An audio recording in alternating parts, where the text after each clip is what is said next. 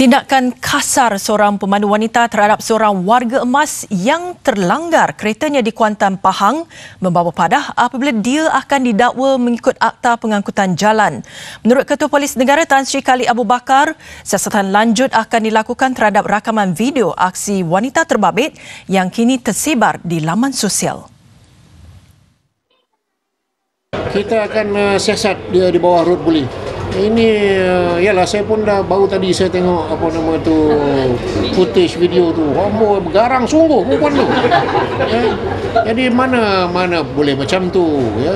Kalau kemalangan kita laporkan kepada polis biarlah polis siasat janganlah mengambil tindakan sendiri dia ni bawa anu ketuk ketuk ke sana ketuk sini kan so that amounts to road bully so kita akan ambil tindakan terhadap dia Tan Sri Khalid diminta mengulas tindakan pihak berkuasa terhadap pemandu wanita terbabit. Menurutnya, polis boleh mengambil tindakan walaupun tiada laporan polis dibuat oleh warga emas terbabit berhubung insiden itu. Beliau menegaskan soal laku jalan raya tidak boleh dibiarkan kerana ia boleh mengancam keselamatan pengguna jalan raya yang lain.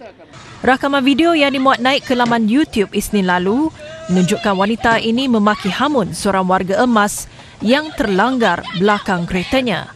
Dia kemudian memukul kereta warga emas berkenaan dengan menggunakan pengunci steering serta menuntut bayaran ganti rugi RM2,000. Tindakan biadab wanita berusia 30 tahun itu menerima kecaman ramai sebaik sahaja video mengenainya tersebar di laman sosial. Jika disabit kesalahan mengikut Seksyen 42 Kurungan 1 Akta Pengangkutan Jalan APJ 1987, wanita berkenaan boleh dihukum penjara tidak lebih 5 tahun atau denda antara RM5,000 hingga RM15,000. Sementara itu, Ketua Polis Daerah Kuantan SCP Abdul Aziz Saleh mengesahkan pihaknya sudah membuka kertas siasatan berhubung kes itu. Menurutnya, polis memandang serius kejadian itu dan mengambil keterangan daripada kedua-dua pihak. Walaupun ini adalah satu kes terpencil, ya, kita dah lama tak dengar road bully ini, tapi uh, mana saya beritahu, kita anggap perkara ini serius ya, dan kita ambil berat dan kita akan siasat. Beliau menjelaskan polis telah menerima laporan daripada kedua-dua pihak berhubung kejadian itu Isnin lalu. Pada awalnya, ia dilaporkan di cawangan trafik sebagai kes kemalangan jalan raya. Namun selepas meneliti rakaman video kejadian itu, polis berpendapat tindakan wanita terbabit boleh mengundang bahaya kepada lelaki warga emas berkenaan. Justru kes kini disiasat mengikut Seksyen 427 Kanun Keseksaan kerana perbuatan hianat dan Seksyen 506 Kanun yang sama kerana ugutan jenayah.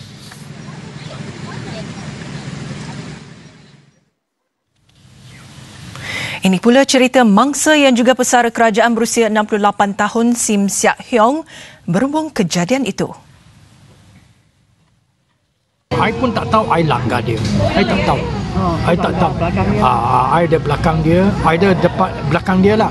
I pun tak tahu I bagaimana langgar dia tahu. I tak tahu sebab uh, masa itu I pun sangat letih sebab I tujuh setengah pagi sampai 12 I sudah keluar belum makan lagi so I sangat letih lah so I tak tahu I ada langkah dia. I tak sadar no, I langkah dia so I itu perempuan dia keluar dari kereta.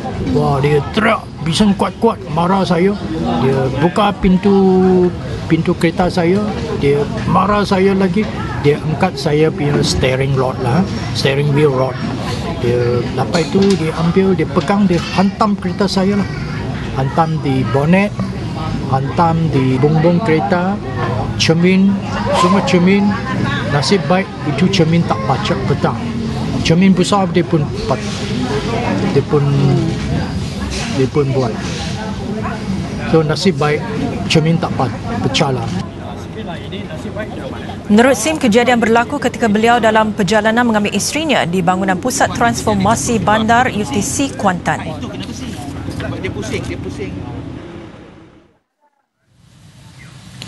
Namun di sebalik kemarahan orang ramai terhadap tindakan biadab pemandu wanita yang dikenali sebagai Kiki itu, SIM dengan rendah hati memaafkan wanita berkenaan dan berjanji tidak membuat laporan polis berkaitan jenayah. Saya sudah fikir balik, saya tidak akan report kes ini jenayah lah. Semua agama buat macam ni ya. Ajar baik ya. Ajar orang uh, tak benci orang yang buat salah pada kita. SIM ditemui selepas memberi keterangan di cawangan trafik Ibu Pejabat Polis Daerah Kuantan siang tadi. Saya tak tahu. Ah, dia ada depan saya. Dan setelah teruk dicemuh kerana kebiadapannya, Kiki tampil memohon maaf. Dia mengaku terlalu emosi. Saya bersedia untuk bekerjasama dengan pihak polis. Saya tak kisah saya boleh bagi apa-apa keterangan dan saya bersedia sebab saya tahu salah saya. Saya memang tak sedar. Saya sedar memang tu salah saya. Lepas tu saya mengaku salah saya. My biggest mistake saya buat macam tu. Saya terlalu emosional. Hmm, saya harap rakyat Malaysia maafkan saya. Saya tahu benda tu susah. Saya tahu. Uh, I lost. Macam I tak boleh fikir masa tu. Hmm. sebab I emosi. Sebenarnya sebab kereta tu sentimental value for me. Uh, it is uh, birthday reward. Sebab I kerja sendiri. I bukan kerja uh, bila I kerja sendiri I kena cari duit untuk untuk dapat. Uh, I bukan tiap-tiap bulan boleh dapat 5-6 ribu macam tu. Uh, 5-6 ribu is too hard for me sebenarnya